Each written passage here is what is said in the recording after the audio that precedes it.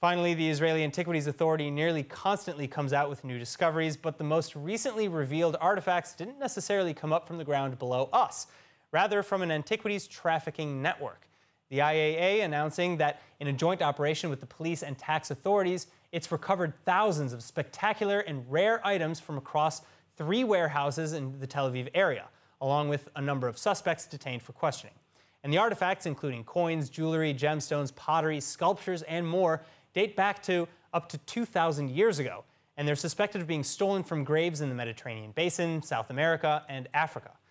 The head of the IAA Robbery Prevention Unit hailing the operation as one of the most significant in history, and authorities will now be working to determine the origin of these items along with Interpol and other international bodies.